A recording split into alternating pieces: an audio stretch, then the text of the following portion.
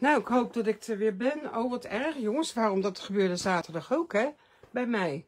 Ik ben zeker te, la- eh, te lang.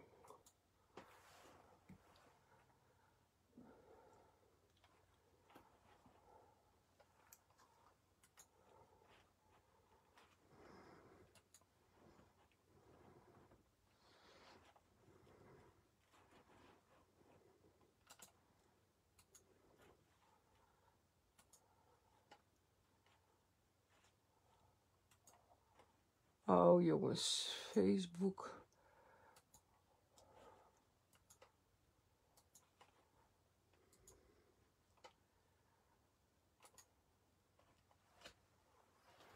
Ik hoop dat ik er weer ben. Ja, gelukkig. Er stromen weer mensen binnen. Oh, wat erg, jongens. Ik weet niet waarom die nou eh eruit gegooid wordt. Maar ik ben er weer.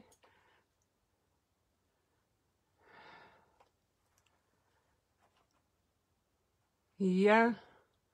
Hoi, hoi.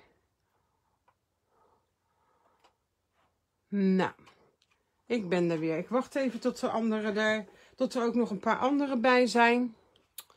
Hè. Nou, dat zijn van die dingen altijd, die zijn nou het meest vervelend. Ondertussen doe ik wel even mijn poeder, anders is mijn lijm gedroogd. Ik ga toch nog meer eh en bossen. Die zal ik vast ook even met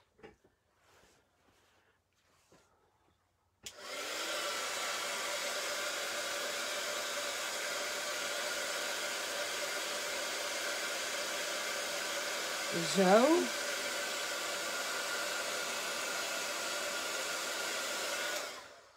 Zo, dan zie je dat deze kant heb ik nu klaar.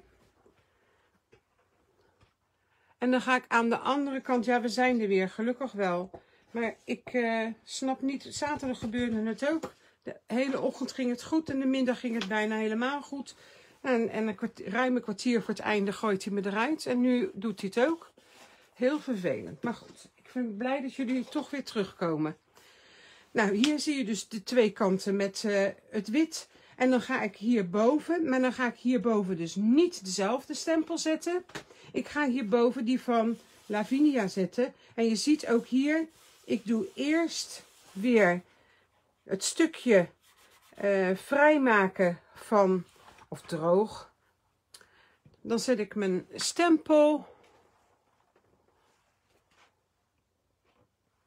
hierop. Ik doe de verse mark op.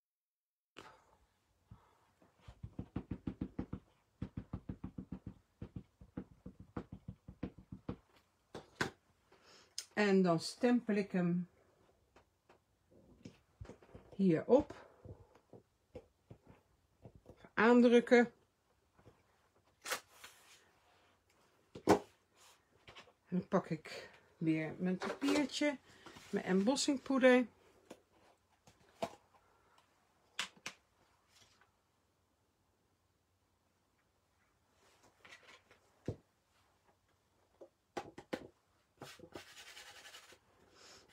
Je ziet, ik heb bovenaan heb ik met mijn eh, zakje gedaan, onderaan niet. En onderaan zitten nu allemaal poeder. Dat is op te lossen, want voor ik nu ga embossen, als ik dat nu zou doen, zou ook onderaan al die spikkeltjes zouden wit worden. Wat doe je dan? Ik neem dan altijd een klein kwastje. Het staat hier ook altijd wel in mijn rek. En dan doe ik gewoon met dat penseeltje, haal ik de embossingpoeder weg die, waar die niet hoort te zitten. Nou, je ziet het hier.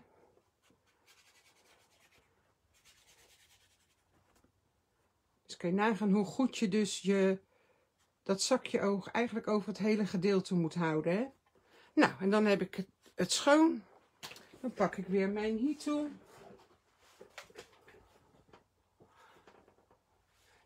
Is dat zilverpearl? Sorry Etty, ik heb je vraag gemist. Nee, ik heb hier zo opaak bright white. Super fijn.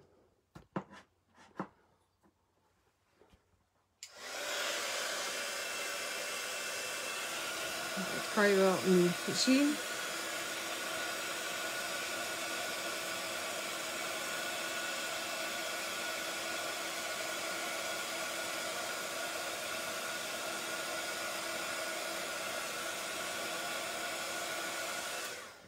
En zo heb je dus de achtergrond van een kaart. Dan kan je hem dus, wat hier gedaan is, matten op zwart. En kijk, tekst eronder. En je kaart is gemaakt. Dus eigenlijk is dit uh, volgens mij voor jullie wel te doen. Ik zou het echt gaan, gaan proberen. Het is echt heel leuk om te doen. Um, even kijken. Dan ga ik ook die andere laten zien. Deze komt wel weer. Even. Ja. Dat was deze. Even mijn spullen aan de kant. Zakje, de rest doe ik straks wel. Dat was deze kaart. Die ga ik nu doen. Dus ik heb hiervoor de kleuren genomen. De kleur uh, ultramarijn bloedtint en magenta. De stempel, dat zal ik jullie vertellen, dat is er een van Penny, Black, van Penny Black en dat is Delicate Frost. Dat is een hele oude stempel. Maar dit kan ook gewoon met, een andere, met andere stempels. Je hebt hele mooie stempels met bloesemtakken, daar kan het ook mee. Maar deze vond ik wel uh, heel erg mooi. En ik moet heel zeggen, ik ben al jaren fan van deze stempel. En die was er nergens meer. En toen opeens een collegaatje van me op internet, die, had hem die bood hem te koop aan. Dan zeg ik, nou Yvonne, ik zoek hem al jaren. Dus toen heb ik hem van haar overgenomen. Ja, en toen ging ik ermee werken. Zo is het gekomen. Oké, hier gaat hij weer. Mijn kaart.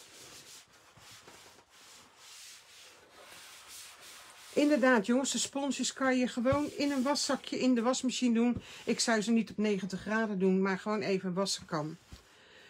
Ik heb hier twee kleuren gebruikt.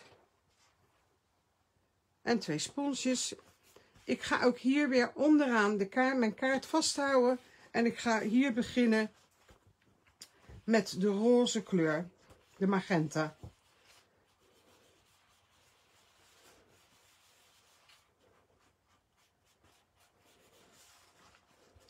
En die magenta heb ik schuin naar boven laten lopen. Oh. Ja, als je heel hard gaat, dan kreuk je kaart. Het zou zonde zijn. En dan neem ik de blauwe. Ik doe hem met waspoeder. Gewoon, ik draai hem gewoon mee met een fijne was of zo. Geen probleem. Dan neem ik de blauwe. Blauw met, met magenta vind ik gewoon een hele mooie combinatie.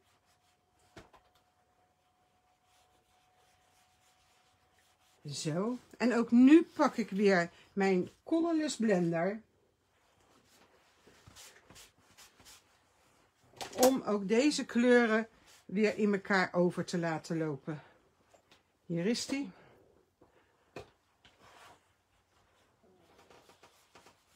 En je ziet dat je de harde rand weghaalt en dat je hem een zachtere uitstraling geeft, ook qua kleur. Dan pak ik weer mijn fixatief.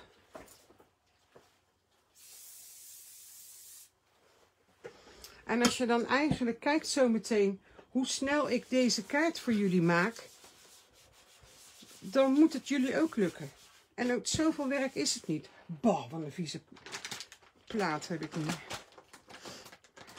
Mijn glasvaat is toch iets werker.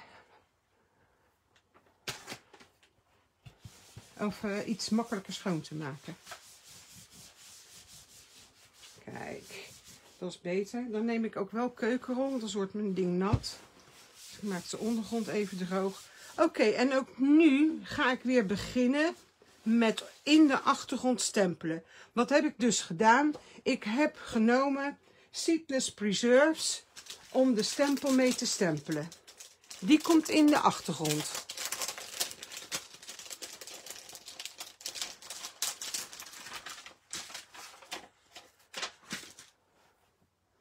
Dan neem ik even mijn... Is mijn... Is die.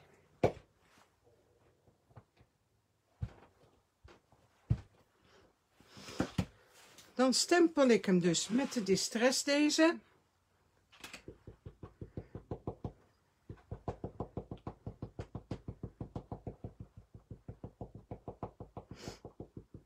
En je zal zien dat deze dan ook een andere kleur geeft op het roze en het blauwe. En ik zet deze op de kaart. Die zet ik een beetje scheef op de kaart, want ik wil zo meteen die andere in het midden hebben.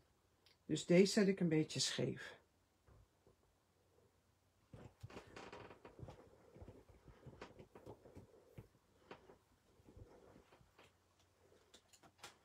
Kijk, dat is één. Dan pak ik voor dezelfde stempel Memento. En waarom neem ik Memento? Memento is niet zo nat en niet zo knonhard zwart. En dat wilde ik bij deze. Dus ik probeer altijd wel op te letten welke kleur stempelink ik, uh, welke ik ga gebruiken. Welk doel ik daarmee heb. Oké.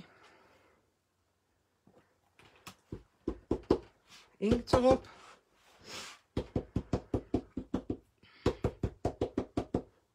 En deze zet ik dan wel een beetje in het midden. Kijk, in het midden van de kaart. Zo. En leuk is om je hem ook qua plek te laten verschieten. Dus of omhoog of omlaag. Ik denk dat ik hem iets omhoog zet.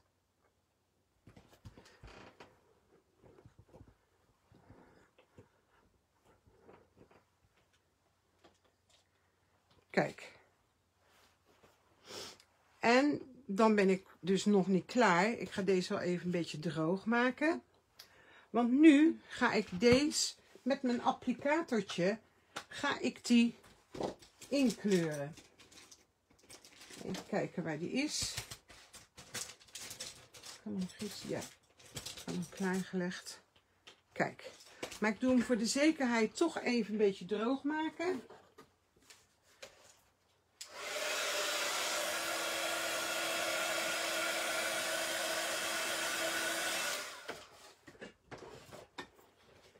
Zo. En dan doe ik met mijn applicatortje, dan neem ik een beetje magenta op. En ik ga hem aan de onderkant van de bloem, ga ik hem inkleuren. Niet helemaal. Ik zet hem het hardste aan aan de onderkant, tenminste het donkerste. En dan werk ik hem licht uit naar boven. Dus aan de onderkant de donkerste kleur. En dan licht uitwerken naar boven. Hier ook.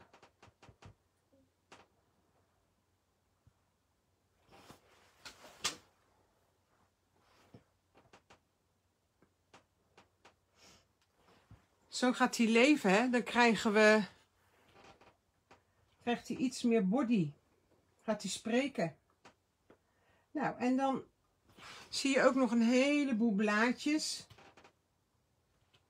Toch hier en daar even ook een beetje aan die onderkant goed aanzetten. En dan heb ik hier dus net ook wat ik al zei, een heel klein kwastje.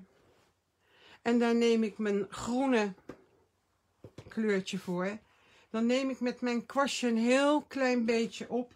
En dan doe ik hier en daar de blaadjes geef ik een groen kleurtje. Niet te veel, gewoon een accentje. En hij knalt er niet uit, maar dat hoeft ook niet. Het gaat erover, hij is even een beetje, heeft hij kleur, spreekt hij. En alleen bij het zwarte gestempelde, dus niet bij die daaronder ligt. Dan ga ik hem toch fixeren, want het blijft pampastel.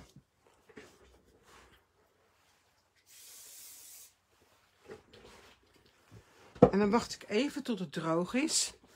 Want als laatste ga ik dan zoals bij deze, nog één keer een wit en bossen erover. Eens kijken of mijn stempel schoon is. Nee, dus die ga ik dan eerst schoonmaken. Anders krijg je een heleboel zwart onder je Versa Is dat niet zo, Versa Markt, dat is dat niet zo heel erg, maar als het niet nodig is, is het niet nodig. Dan pak ik weer mijn synthetische of mijn magne uh, magnesium zakje. En ik ga echt over de hele kaart. Zodat ik straks alleen maar mijn uh, verse mark, mijn embossingpoeder krijg op de verse mark. Ik pak weer Ik heb vandaag de doos pastel besteld. Kan ik morgen aan de slag? Nou Yvonne, dan gaan we het zien wat je hebt gemaakt. Want dat vind ik altijd wel leuk. Dat jullie laten zien wat je gemaakt hebt. Zo, verse markt erop. En dan ga ik deze. En die ga ik er lekker naast en niet helemaal onder zetten. Maar deze mag wel knallen. Dus die zet ik zo.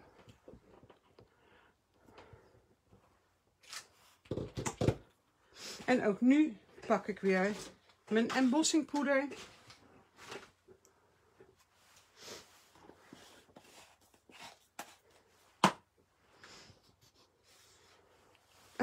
ik draai hem dicht in de plaats van over. Daar gaat.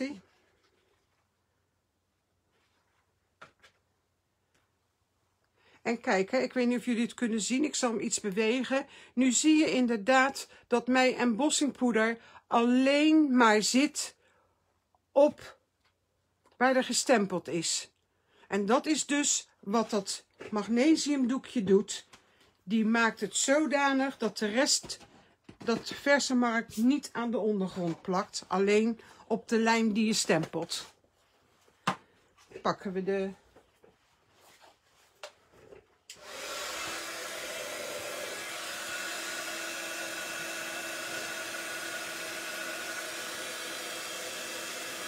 is zo leuk, want je ziet hem gewoon plastic worden. Je ziet het wit worden en dan weet je dat hij klaar is. Blijf er dan niet te lang op, uh, op hangen, anders gaat hij bubbelen. Dan wordt hij lelijk. Wacht inderdaad totdat hij zeg maar gedroogd is. Of, nou niet gedroogd, dat hij plastic is geworden en klaar. En dames en heren, dat is dan de tweede kaart. Nou, hier zie je dus dat ik één stempel drie keer achter elkaar gebruikt heb.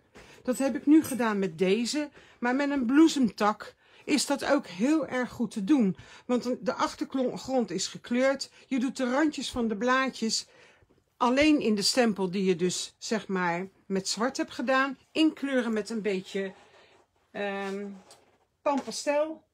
En dan uh, is die klaar. Kijk. Just a note. Ik vind hem uh, mooi. Dus laat je niet altijd afleiden door de stempels die ik gebruik of een ander gebruikt. Kijk ook vooral wat je zelf hebt. Kijk, en als je het mooi vindt, moet je hem gewoon kopen. Maar ik weet dat ik heel lang naar deze gezocht heb. Dus ik, ik hoop dat jullie hem vinden. Je kan het aan Marjan vragen van, de, van uh, Hobby Complete Duif of ze wil kijken of ze hem kan bestellen voor jullie. Dat, uh, dat weet ik niet. Nou, en dan zou ik adviseren, vergeet vooral je magnesium dingetje ook niet te gebruiken.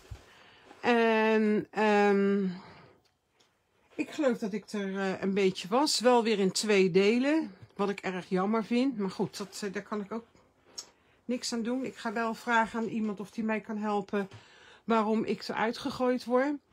Ik ga jullie advies meenemen met uh, de pampastel op de jellyplate. Of het volgende week is, dat weet ik nog niet. Daar ga ik even over nadenken. En dan hoop ik jullie maandag sowieso weer te zien.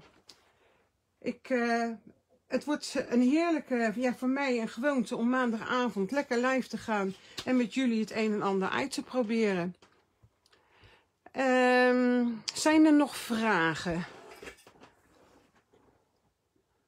En wat ik ook al zei, hè, als je pampastel leuk vindt, koop dan twee of drie kleurtjes waar je het eerst mee gaat proberen. Zal ik nog één ding laten zien wat je ook nog kan doen met... Want dat is misschien wel leuk. Ik heb hier ook even een plaatje. Um, zeg dat ik de achtergrond helemaal even roze maak. Want dat is dan wel leuk misschien voor jullie om nog ook te doen. Dit is een uh, fluweel, stukje fluweelkarton. En wat dan ook leuk is, dat is, en ik had het namelijk al gepakt, om een stencil daarop te leggen. Nou, neem bijvoorbeeld de, de, nieuwe stencils van uh, Studio Light met die uh, mandala's. Dan pak je een, ja, dabber heet dat, weet ik hoe, hoe je zo'n ding uh, noemt. Staat hij nou weer vast? Ben ik weer weg? Zit ik nou weer voor Jan Joker iets uit te leggen? Dan, kijk, dan kan je met deze, neem je dus je verse mark op. En dat doe je over je nou, stencil heen.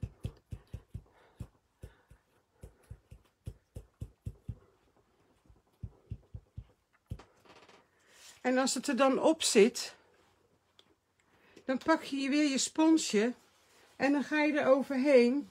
En kijk. Dus dat is ook nog een manier wat je met je pampastel kan doen. Ja, hij hapert. Hè. Nou, beter mijn, uh, de lijf haper als ik, maar ik vind het heel vervelend. Ik uh, ga stoppen. maar dit was dus nog een manier. Doe op je achtergrond. Doe met een dabber zo eentje door je stencil heen. Ik het nog even één keer laten zien. Als je het niet meegekregen hebt. Dan pak je opnieuw. En je hebt de achtergrond erin. Dus dat is ook nog een manier waarop je... Dat wil ik nog even als extraatje meegeven. Dat is ook wel weer heel erg leuk om te doen. Ja, dan ga ik nu wel stoppen. Het is net toveren. Nou, dat klopt. Vroeger had je van dat papier waar je moest krassen dat er dan dingen tevoorschijn kwamen. Dat doen mijn kleinkinderen trouwens nog. En nou, dit, dit lijkt er wel een beetje op. Hé, hey, maar dames, ik... Uh, voor vanavond zeg ik jullie uh, gedag. Heel leuk dat jullie er waren. Ik uh, hoop jullie volgende week weer te zien. En succes met alles wat jullie deze week gaan proberen. En ik hoop het vooral te kunnen zien. Succes en tot maandag.